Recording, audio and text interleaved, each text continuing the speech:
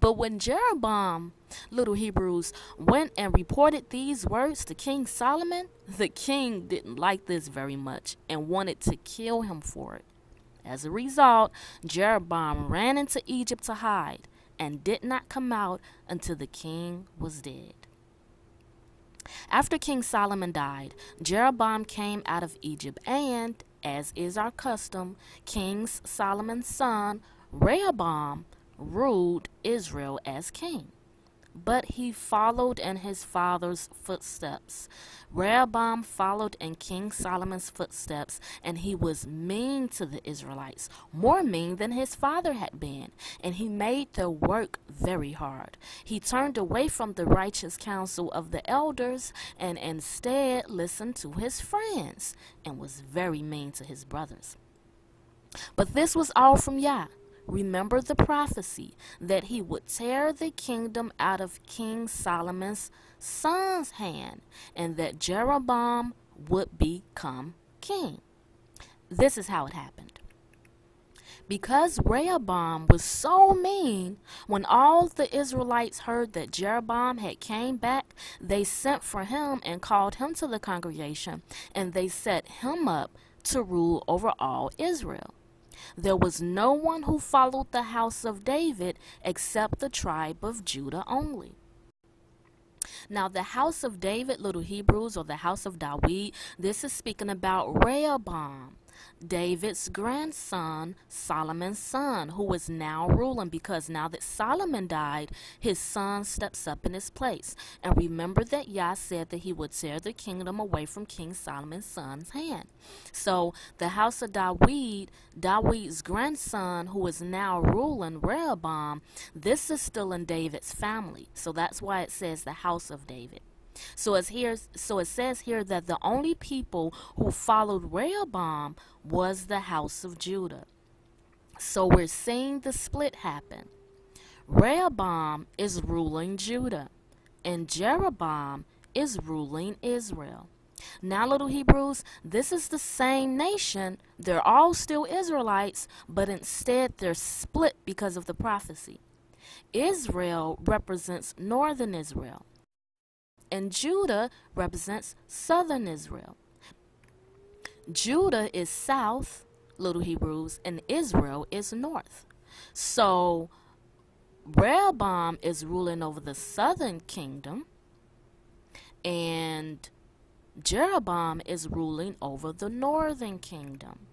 Now, remember that most of the people went over to Jeroboam because Rehoboam was being mean but most importantly, because Yah gave a prophecy that the kingdom will be taken away from Solomon's son. Remember that Rehoboam is Solomon's son.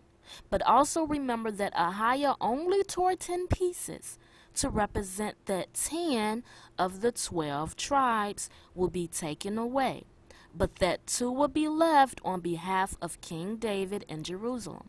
So, with half the Israelites leaving and following Jeroboam, this represents that part of the torn garment.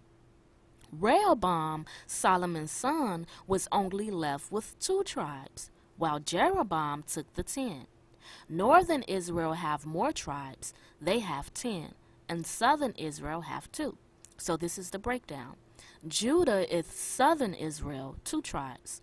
Israel, or the house of Israel, is northern Israel, ten tribes. So, little Hebrews, this is how the kingdom was split. We're all still Israelites, but now instead of one king ruling over all, there are two separate kings in two separate parts of the country doing two separate things. Remember, we have Rehoboam, King Solomon's son, who's ruling over southern Israel, and they only have two tribes. Southern Israel is Judah. And then we have Jeroboam ruling over northern Israel. They have 10 tribes. So now that you know how the kingdom was split, and you're familiar with the terminology. So when your teacher say, you know, northern Israel, southern Israel, the tribe of Judah, the tribe of Israel, you know what they're talking about. This is all we're all still Israelites, but the kingdom was split because of King Solomon's disobedience and the prophecy that Yah had um, sent his servant to make.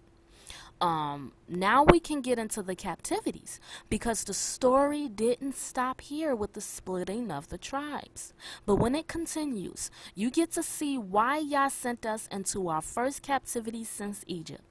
And while the southern tribes are looking bad now, it was the northern tribes that started a most infamous yet historical transgression against Yah that continues among the stiff necked of our people today.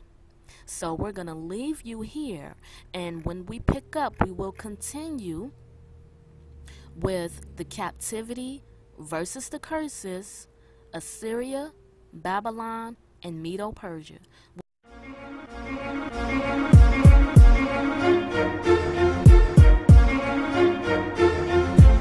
From Genesis to Revelations, you could read in the pages, and you'll see black faces. The people in the book, yeah, they look like me. Change the faces and the color they took from me. And done, tell me, what color would be the Israelite if he caught leprosy and his skin would turn white? Moses put his hand in his bosom and turned snow. Did it again and it went back to its natural tone. King Solomon said, I'm black, but I'm comely. Then what color would all of Solomon's sons be? To a black Egypt to hide. How could that be done with blonde hair, with blue eyes?